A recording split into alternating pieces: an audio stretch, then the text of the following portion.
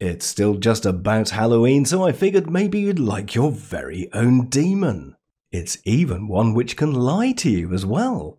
As you can probably guess from the name, these nodes can help to enhance details in your Comfy UI generations, just like that Peacock example. Reading about it here, they say it's a port of the SD Web UI Detail Daemon as a node for Comfy UI to adjust the sigmas that generally enhance details and possibly remove unwanted background blurring, particularly with Flux models, but it does also work with SDXL SD 1.5 and likely other models as well. I'll be testing it here in Flux today. They give us four nodes, like they say, detailed daemon sampler, detailed daemon graph, multiply sigmas, and also that lying sigma sampler. The main node is the most complicated one, and if this is too complex, then don't worry, as they have much easier options too. For the full explanation, see the link they have provided there to Detailed Daemon, and for a quicker explanation, you can check all the parameters they've nicely detailed here. So detail amount, that's the main value that adjusts the detail in the middle of the generation process. Positive values lower the sigmas, reducing noise removed at each step, which will increase detail. For Flux models, they've got a range there, which is different for things like SDXL. Start, when do you want it to start, obviously, and end when you want it to end. There's also bias, exponent, start offset, end offset, fade, and smooth. Multiply sigmas are much easier node to use. As you can see there, it's just got one value. Simple node to multiply all sigmas noise levels by the supplied factor. It multiplies both the noise levels added and denoised by the factor, which somehow adds detail with a factor less than one. It is stateless, meaning it calculates the sigmas fresh on every queue, which is very handy. And like it says there, the only parameter is factor. So there, the default is 0.96, but you could go as low as maybe 0.95. And finally, the lying sigma sampler. This one is quite humorous because it's got a dishonesty factor. That's the bit I like the most. So similar to the detail amount in the detailed daemon node, which we looked at just a second ago, this adjusts the amount of detail. Okay, so basically you've got three different nodes and one extra one that gives you a graph to show what the things look like. Time to have a look at these in action then. This is the comparing detailers workflow they provide, and as usual, you can install the nodes using Comfy UI Manager. So here I'm going to go to Custom Nodes Manager, up in the search box, Detailed Daemon, and there it is, Comfy UI Detailed Daemon. Click Install, Restart, and you'll have all the nodes. Over here in the load checkpoints area, I'm using the more typical FP8 checkpoint in place of their example, and of course, you should pick whichever model you normally use. Their default prompt should generate a peacock for you, and over here they've got a standard set of sampler parameters. So most of everything there is the same. That goes out to all the nodes, and up here they start off with the default. So this one, no detailer, just your standard flux generation, and there we have our peacock. Next up is the detailed daemon sampler. So here you can see again, everything else is the same, but we've got a different sampler. So there, the detailed daemon sampler. Now that one is the one that's actually sending the values in. This one only does a graph. So if you change any of those values, all it will do is change the graph. It won't actually change this custom sampler. So do make sure you change them in there. That is only a graph. Comparing them over here then with this lovely comparison node. Okay, so that's one we saw before, the default peacock. And then as we bring the details in, you can see the image has changed a lot, but it definitely has a lot more detail. Lying sigmas is the next example, and again, it's simply replacing the sampler. This time it's very much more like the default image. I zoom in on this comparison node, there we go. Okay, so there is the default image. And as we bring this in, you can see lots more detail, but also more similar to the original default image. With multiply sigmas, it's back to the standard sampler. So we haven't changed the sampler here, that's going up to the other one there, but multiply sigmas is the one that is changing. Once again, you can see the image changes quite considerably from the default, but it does indeed have lots more details.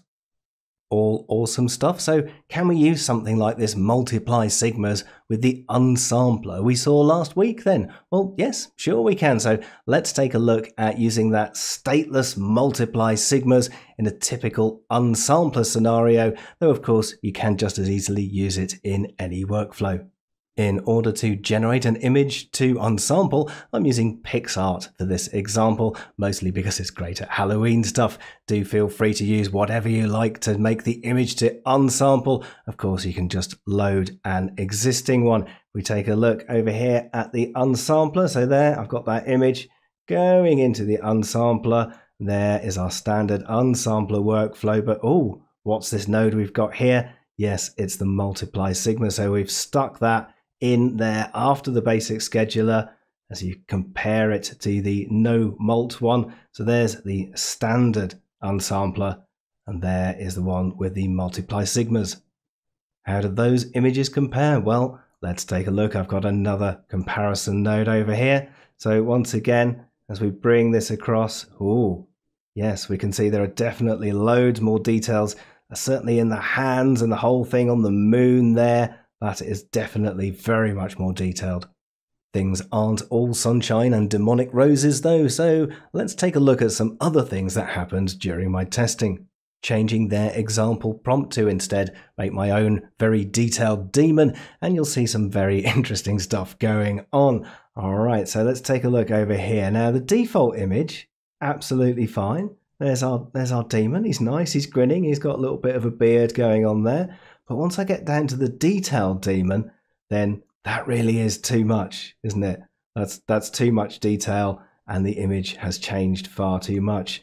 Down here on the lying sigmas, that's pretty good, actually. That's not too bad. Now, the other thing I did here, because that had so much detail in, was I lowered the start and end. So it starts a little bit later and end a little bit earlier than normal. So should be a little bit less detail. And he's he's got lots in there. You could certainly on the ears there, those weird veins, lots of paint on the background. Yeah, I think that's a nice detail. Multiply sigmas, on the other hand, gave me this. So yes, obviously completely different. Um, not entirely sure I'm pleased with that result. However, down here in unsampler land, it's still absolutely fine. So Let's compare these two once again. We can see as I bring this across, lots more detail in those horns and we're getting a sort of painting style on the background there. So I think those extra details once again make a much better image. Will it help with faces and skin details too? Well, let's take a look. Here, I've asked for a detailed photo of Mary Hollowface, who's 33 and from Texas. Now, the default sampler has sort of given us a photo. Uh, she's got lots of things on her face. I guess that's what a hollow face looks like. But once again, the detailed daemon with those reasonably high settings there, it's uh, yeah, it's gone all over the place. So here's a slightly different example with lower settings.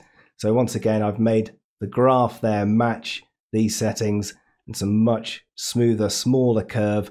So it hasn't changed as much, but as you can see, it has added in lots of details. Similar in many ways in this case then to the lying sampler version. As you can see, lots more stuff on her face, quite a lot more detail on that jacket.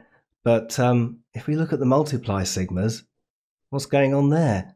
So there I tried it at 0.97 and there it is at 0.96. So once again, those multiply sigmas seem to be doing something a little bit strange down in unsampler world. And here we've got our person which is, of course, a lot more photographic this time. The multiply sigmas is working nicely. And as we bring this across there, we can see a lot more detail in the face. Let's just zoom in there so you can see the difference. So normal flux face, so to speak, and there adding in just a little bit more detail.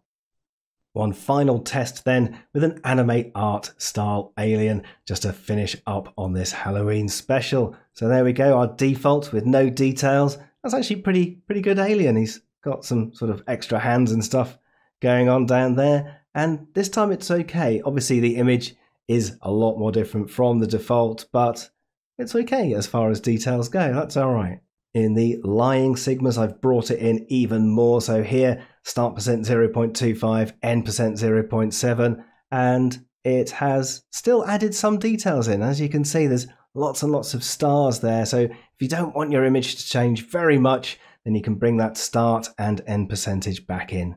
Multiply Sigmas more happy with the anime art style alien. As you can see there, completely different and still a fair amount of detail. There you have it then, Detailed Daemon, a lovely set of nodes that you can easily slip into any of your workflows. Hope you have a very happy Halloween. Ooh, nerdy rodent. He really makes my day. Showing us AI in a really British way.